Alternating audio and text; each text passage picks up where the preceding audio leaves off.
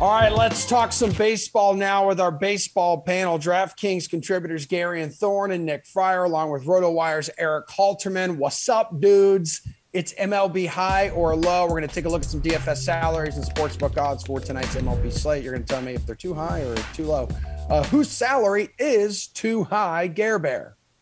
Yeah, let's start with uh, Julio Urias. Uh, this isn't too much about Urias. It's kind of about who he's grouped with. I just think there's such a massive drop off on this slate once you get past Lance McCullers and Robbie Ray, who have both been pitching just out of their minds the past little bit. For Ray, it's his past nine starts. For McCullers, it's his past four starts where he's racked up a 32% strikeout rate.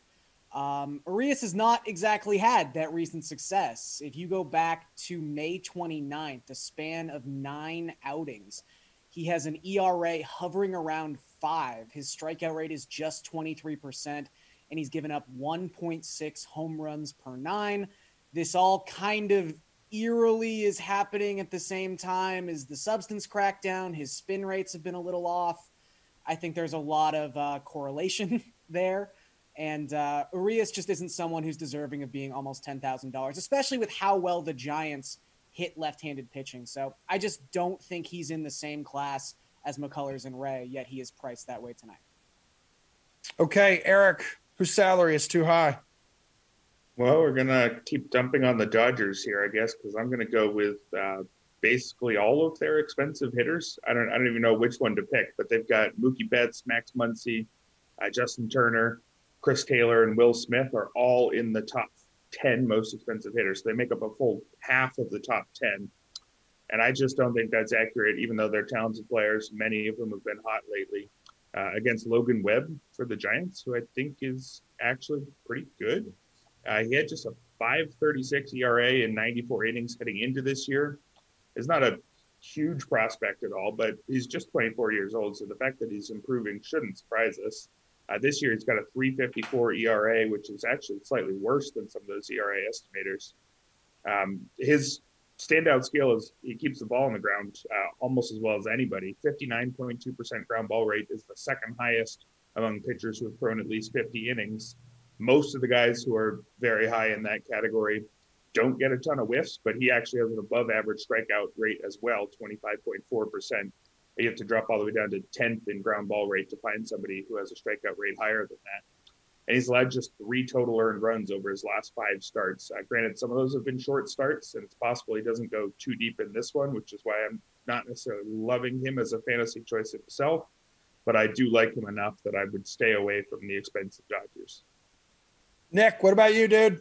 Well, as much as I don't like Wainwright and Hendricks prices at over 9K, I understand the matchups that they have tonight, and we'll talk about the game that game a little bit later. But I'm with Gary on this one. Julio Urias was the one that jumps out right away. He's just under 10K. And I was I was blown away when I saw this because again, he's going against the Giants. And in case people forget, the Giants are actually good. This isn't the football Giants. This is a good team.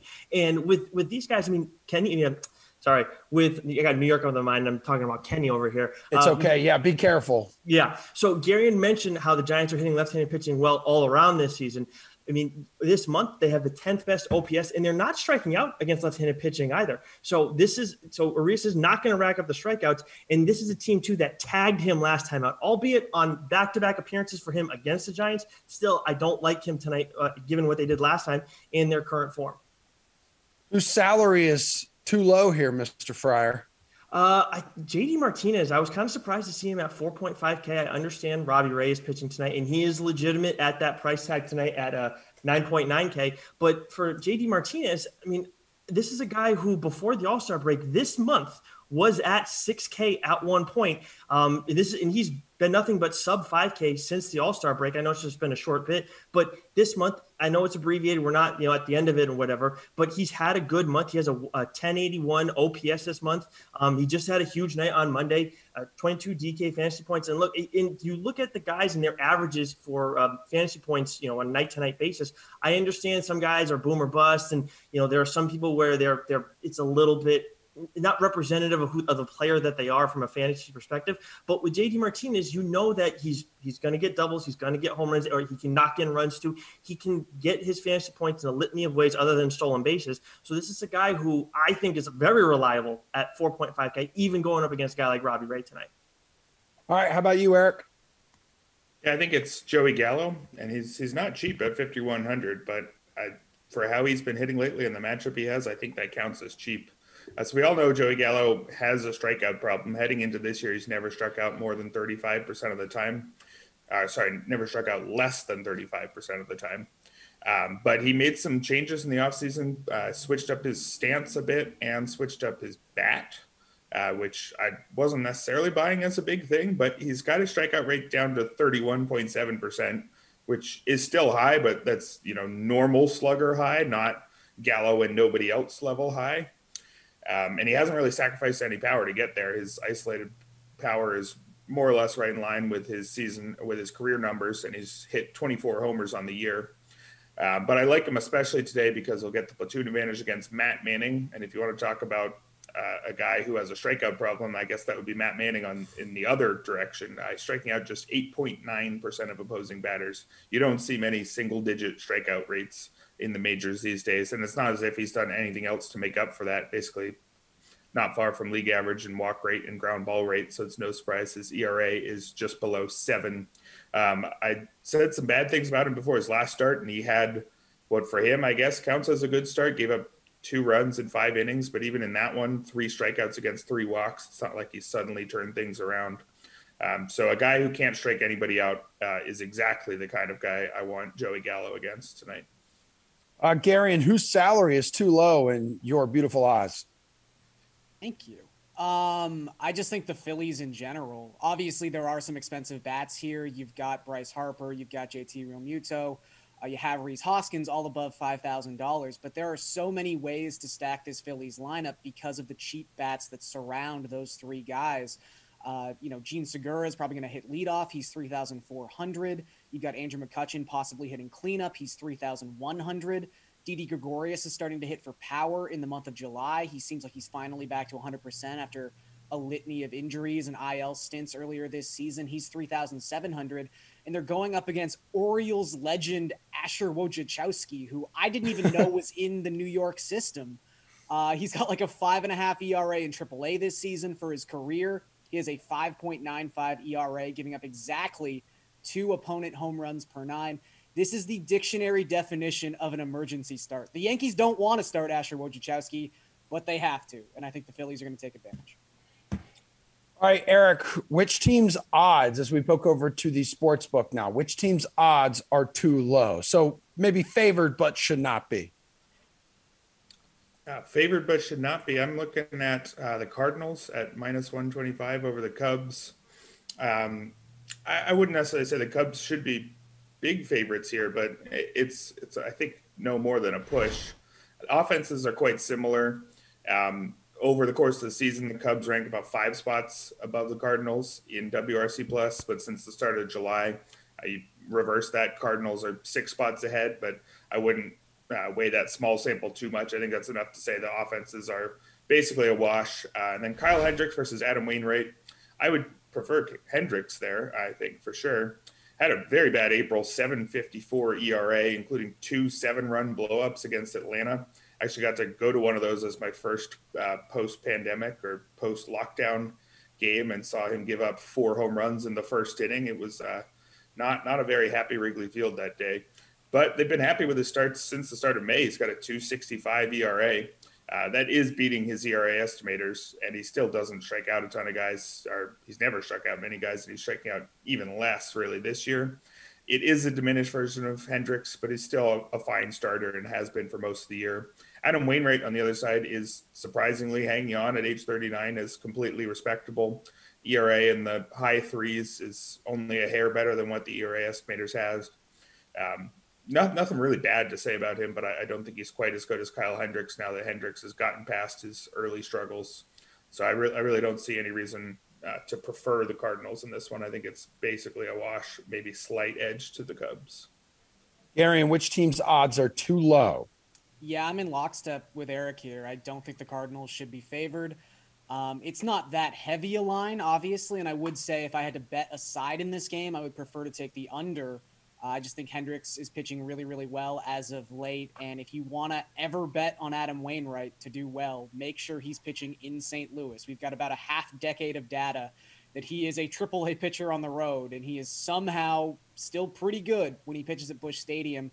Um, but I look at the Cardinals, who are three and thirteen in their last sixteen games against NL Central opponents. Uh, I look at the Cubs, who are ten and two in their past twelve games that Kyle Hendricks has started, and that makes sense because he's got a two point four eight ERA in that twelve start span. His last six starts, in particular, he has a one point nine eight ERA. So while the season long numbers don't look that great, because as Erik alluded to he was absolutely demolished in the month of April. Kyle Hendricks has been exactly who we've known Kyle Hendricks to be the past two months. He is just the soft contact king we know and love. So I would say the Cubs maybe don't deserve to be favored in this game, but as Erik said, it should probably be closer to a push.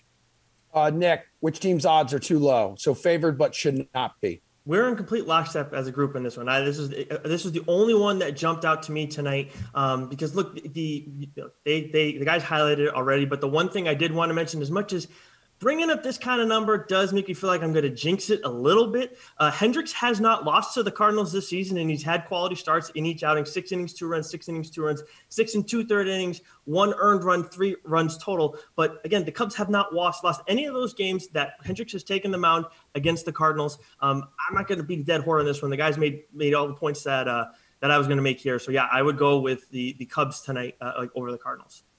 All right, guys, we got the last one here. Need you to be a little quick. So, which team's odds are too high? So, one you think has good value tonight. Go ahead, Nick. I'm going to go with the Giants against the Dodgers. We talked about Urias and why we're not big on him necessarily tonight, especially at his price point from a DFS perspective. Um, Erik did highlight how Logan Webb has been solid. I know he was out for all of June, but he's been back. And I know he's been limited in how much he's been pitching, but he's still been effective. Um, and when you look at the bullpens, I know that the Dodgers, their, their bullpen ERA has been good, but that's, of course, not the only thing we can look at when we're talking about bullpens. Their FIP indicates that they're, they're due for a negative regression, whereas the uh, Giants bullpen is kind of is going in the other direction when you're looking at that ERA FIP split. So I like the Giants uh, as the underdogs tonight against the Dodgers. Garion, which team has some good value tonight on the sports book? I'm going to keep rolling with the Tigers. Uh, I'm surprised there isn't a little bit more respect on the DraftKings Sportsbook tonight. They are 7 and 0 in their last seven home games. And the Rangers, since coming out of the All Star break, have been outscored 43 to 3. They have a WRC plus of 11 in those five games. Congratulations to the Rangers. You managed to make it out of negative territory. Uh, I'm just going to blindly bet the Tigers until the Rangers show me anything. All right, Erik, real quick, which team's odds are too high? Yeah, I'm, I'm on with Nick on this one. It's the Giants. Uh, I liked it more last night when it was plus 155, but at plus 135, I still like it. I talked about Logan Webb earlier, how he's shown everything you want to see, and Julio Urias on the other side had a 303 ERA in his first 10 starts, a 471 ERA in his last nine. Garion linked that maybe to the sticky stuff crackdown, but also we should expect him to fade as the season goes on because he's never handled a high workload. His 112 innings this season already smashed his previous uh, career MLB high of 79 and two thirds. So I would not expect the early season Urias going forward, and really we haven't seen him for a couple months now.